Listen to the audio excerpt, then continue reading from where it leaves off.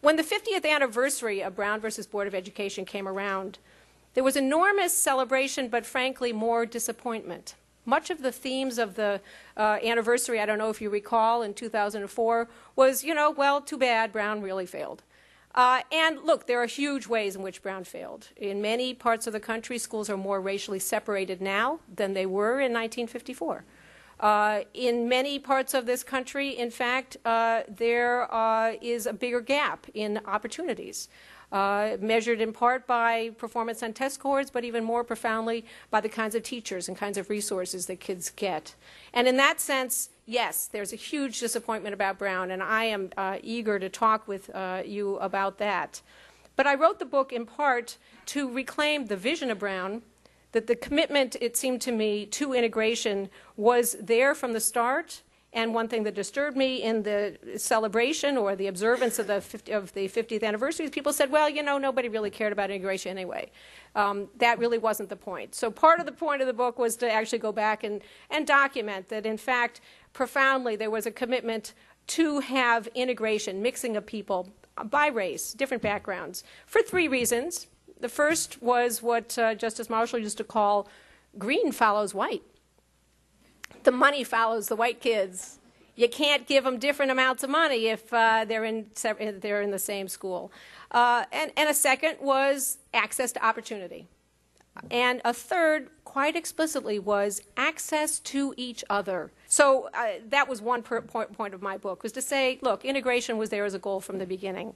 But a second point of the book was actually to argue that the influence of Brown, and I do believe it's been extraordinary, goes way beyond race in establishing the ideal of an equal educational opportunity for students regardless of their language background, their immigrant status, their gender, their sexual orientation, their disability, their religion, whether or not they're uh, American Indians or Native Hawaiians, whether or not they're poor. And I'm going to spend a little time talking about each of those areas where Brown had a direct and profound influence, transforming the expectations and indeed the legal rights around education for people uh, marked by any of those characteristics. And then finally, Brown has had an enormous and inspiring effect in educational reform around the world. I'm going to read to you one thing, which is John Davis, who was the lawyer representing South Carolina in the case of Brown versus Board of Education. So he was on the side against integration, okay? So he's making this argument to the Supreme Court of the United States why the schools should not be desegregated. And this is his argument. I'm quoting it. May it please the court. I think if appellant's construction of the 14th Amendment should prevail here, there is no doubt in my mind that it would catch the Indian within its grasp just as much as the Negro. Should it prevail, I am unable to see why a state would have any further right to segregate its pupils on the ground of sex, or on the ground of age, or on the ground of mental capacity. Well, one thing you can say about John Davis, he was right. Brown became the pivotal, door opening move for educational opportunity for American Indians, for girls, for uh, people with mental disabilities and other kinds of disabilities. And that's what the book argues. So, take language. It did take 20 years, but in 1974, uh, 20 years after Brown, the Supreme Court of the United States decided that denying educational uh, uh, accommodations for students who didn't speak English was a violation of the statute that was adopted in the wake of Brown, the Civil Rights Act of 1964. And that led to an ongoing debate that honestly isn't over to this day whether or not the best way to assure an equal educational opportunity for students learning English is by giving them separate instruction in English or by giving them uh, an immersion experience. But in any case, as we debate that, and we do debate it around the country, the as principle was established that a right, a right to an educational opportunity is present there, regardless of the individual's uh, language background. That was brand new. Immigration. 1982, Plyler versus Doe, Supreme Court of the United States decides that students cannot be excluded from public schools if they're not citizens. This was a radical decision, uh, which has actually been crucial in the waves against uh, rights of immigrants around this country right now to this day. Um, let's take gender. The exclusion of girls from prestigious boys' schools was something that troubled a lot of people at the time of Brown. And shortly after the uh, decision, there began a movement to actually try to address that. In the meantime, the 1964 Civil Rights Act was enacted uh, one of its opponents proposed adding there should be no discrimination on the basis of gender as a way to kill the bill. They thought, well, then nobody will vote for it. As it turned out, uh, some of those women who'd been organizing after Brown said, hey, let's get on that bandwagon.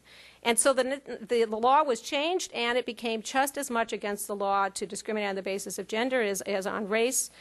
And ever since that time, we've had a debate about what does that mean in education. Does that mean that you can't have separate schools organized around gender? And I'll tell you the answer. The answer is we don't know. We argue about it. What Brown established was there has to be equal opportunity.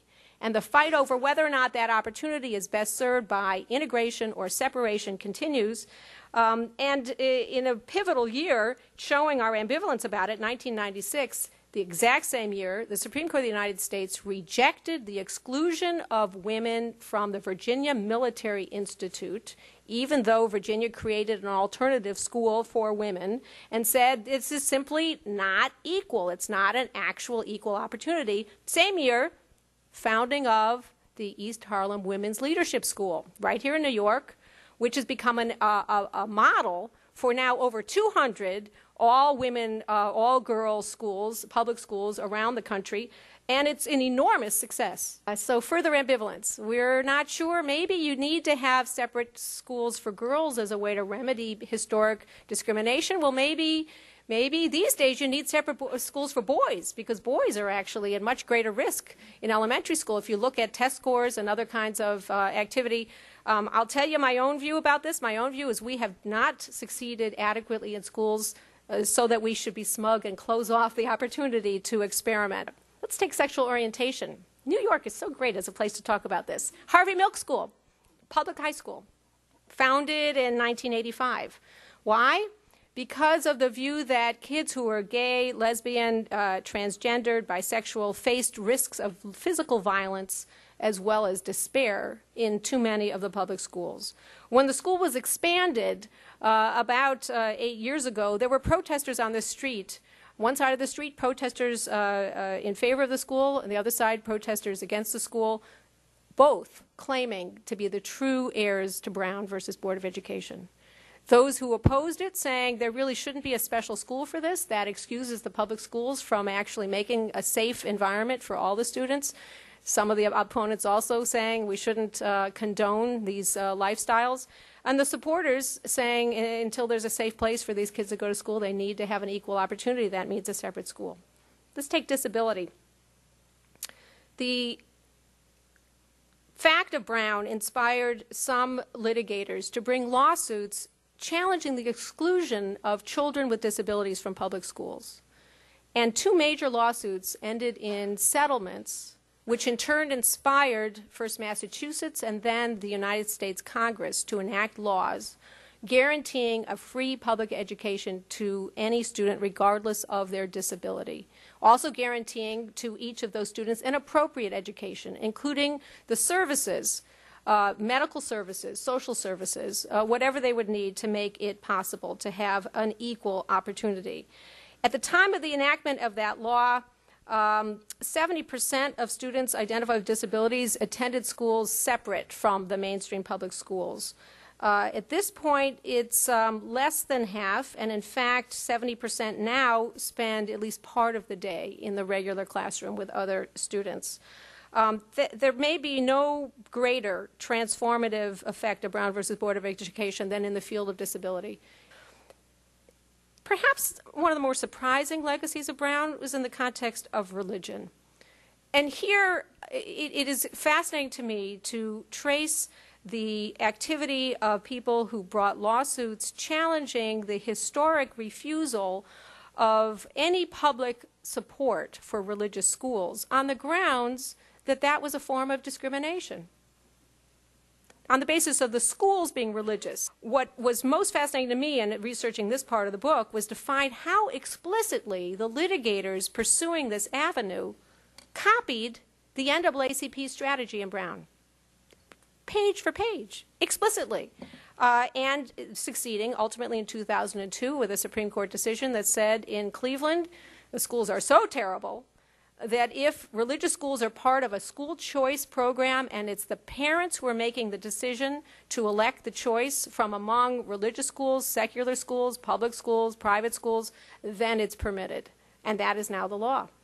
That in turn has uh, stimulated an enormous school choice movement. More on that later.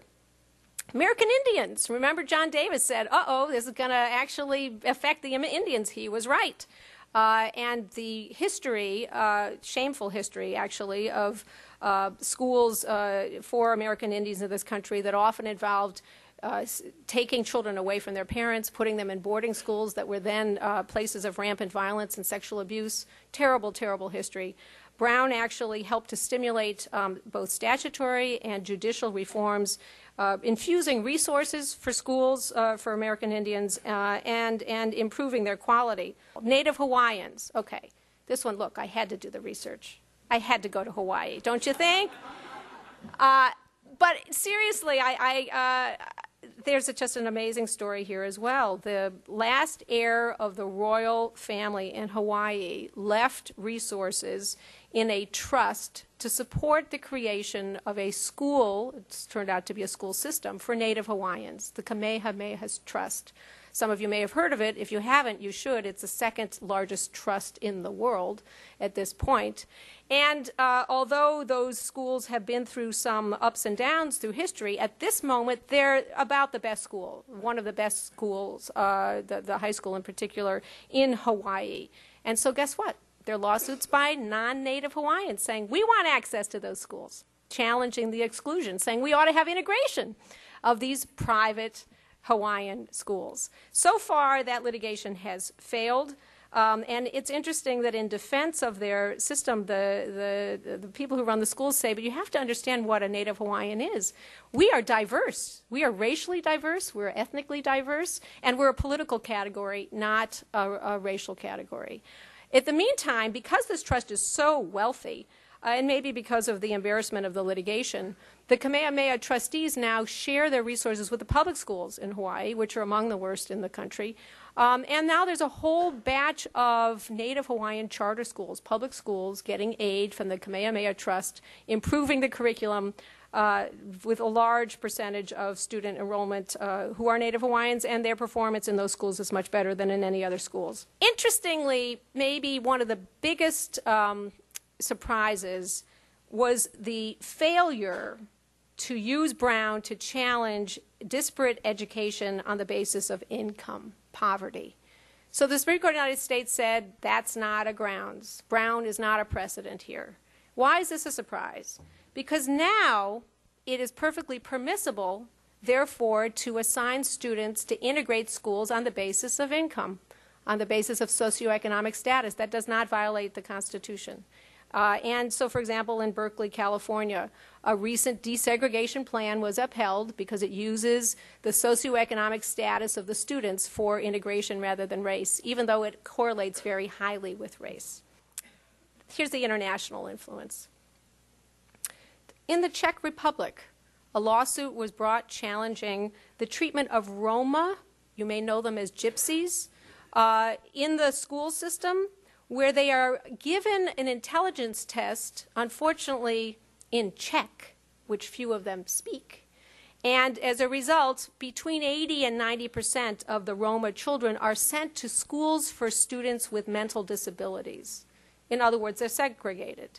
So a lawsuit was brought explicitly modeled on Brown versus Board of Education, uh, partly with some money supported by George Soros, uh, and ultimately with a decision by the Euro European Court of Human Rights uh, rejecting the use of that intelligence test and the substantially separate school system.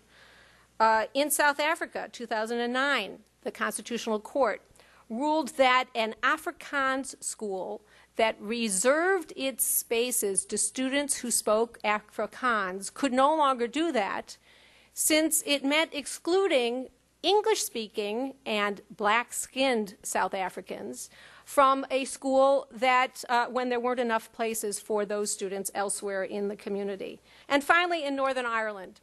Northern Ireland is really interesting example to me because there are two school systems there. There's a public school system and there's a private school system. The public school system is Protestant and the private school system is Catholic. And through the years, there had been parents saying, you know, we might actually be able to tackle some of our troubles here if we had integrated education. And if the students weren't learning in school a history about how hateful the other group was. The movement for integration proceeded as a parent initiative. It led to the public system saying, we will give public dollars to integrated schools if you can, parents, show us that you can fill a kindergarten. And over time, parents have done this. There are wait lists for the integrated schools. Still, only 5% of the population go to integrated schools. But in a recent poll, 82% of those polled in Northern Ireland said that they support integrated schools, and 55% of parents say the only reason that their children are not in integrated schools is that they couldn't get in. There are not enough places. Just think about parallel history. Making integrated schools a scarce commodity has made them desirable. The final thing that I want to say is that the school choice movement, I referred to it earlier, is our current moment and it may be our future. So we have both within the public system the development of magnet schools and pilot schools and uh, schools within schools, uh, allowing parents uh, to elect schools or try to get their kids into schools. We have charter schools. Charter schools, depending on the state, that may be run uh, as part of the public system or may be run as an entire alternative, but again with public dollars. And of course, we also have private schools. And because of the 2002 Zelman decision, there can be the use of public dollars to help pay for private schools on some circumstances. What this holds out is a very interesting new challenge. How much will these new schools organize around special identities? How much around race? How much around gender? How much around language? Arabic language schools, Hebrew language schools. How much will the school choice movement produce separation? How much will it produce integration? This is a choice. This is a choice for the citizens. This is a choice for the polity. This is not about the Constitution at least not at that moment. Thank you all so very much.